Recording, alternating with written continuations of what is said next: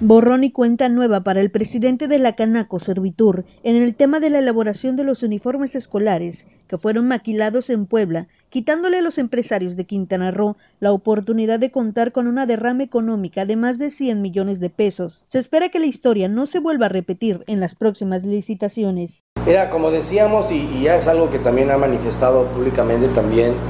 este, la institución, que de este aprendizaje, de esta experiencia salimos más fuertes porque podemos ver que dependiendo de las condiciones del proyecto, nosotros tenemos que analizar una planeación suficiente de tiempo anticipado que nos permita poder resolver, llamémosle los puntos más neurálgicos de una competencia de mayoreo y poder estar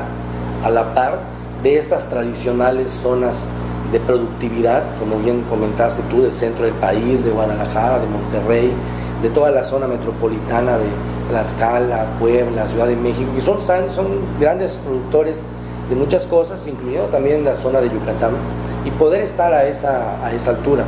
Eloy Quintal, presidente de la Canaco Servitur Chetumal, se salió por la tangente en más de una ocasión al preguntarle el sentir de los textileros de la zona sur en la adjudicación de la elaboración de uniformes, aduciendo que la experiencia los hace más fuertes. También se le cuestionó si en las próximas licitaciones los empresarios locales podrán competir contra las grandes industrias del centro y norte del país o se repetiría la historia y esto fue lo que dijo.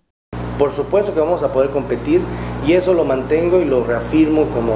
como representante de esta Cámara Empresarial por dos cuestiones fundamentales. Uno, sí, hay la, hay la suficiente capacidad técnica y la experiencia en el ramo, no solo en este, sino en muchos más que tenemos localmente. Y dos, la experiencia nos ha señalado que dependiendo de las características del proyecto que se hable,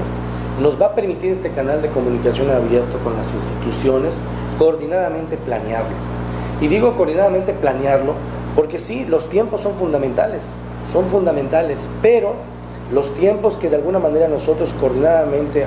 eh, acordemos también nos va a permitir atender no solamente estos proyectos, sino también los que el día a día han sostenido en los últimos años a las empresas locales. Para Notivisión, Rosy Dorado.